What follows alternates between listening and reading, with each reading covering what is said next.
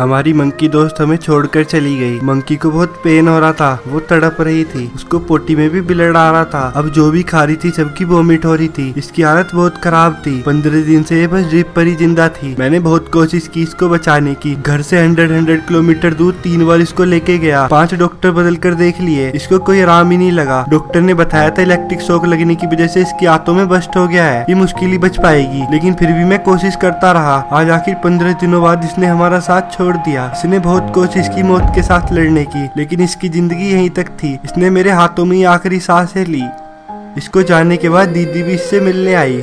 वो प्लूटो तो इसके पास ही बैठकर रोने लगा। फिर दादी जी ने भी इसको आखिरी बार छुआ और मम्मी जी भी इससे आखिरी बार मिलने आई।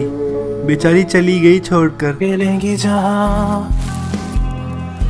बाहर कभी। मुझे तो वहाँ